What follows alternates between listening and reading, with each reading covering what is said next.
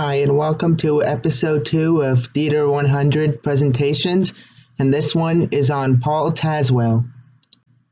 So, who is Paul Tazewell? Well, he was born in 1964 in Akron, Ohio. He is currently 57 years old. This means he has not died yet. He is a costume designer. This is for theater, dance, opera, and television.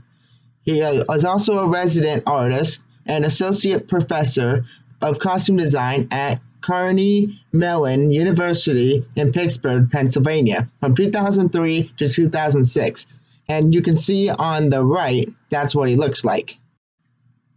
So now going into a little brief education, he attended the North Carolina School of the Arts where he got a bachelor's degree in fine arts.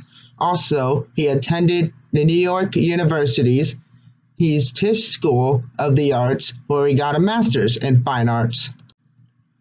The most popular costume designs that Paul Tazewell has done were on Broadway.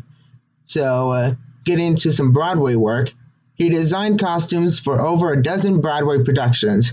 This started in 1996 with Bringin' the Noise, Bringin' the Funk. Others include On the Town, The Color Purple, Guys and Dolls. Some of his off Broadway work as a costume designer includes well, the well known Hamilton, as you can see the movie poster on the right for the Disney Plus release because of the pandemic, uh, Elaine Stritch and Liberty, and Boston Marriage. Paul Tazewell has received many awards. As we get into the awards section, he has received six Tony Award nominations. Some of these were actual awards. These include A Revival of a Raisin in the Sun and Hamilton in 2016. As you can see on the right is one of his Tony Award wins. He also received an Emmy for his and his team's work on The Wiz Live, which was an NBC show.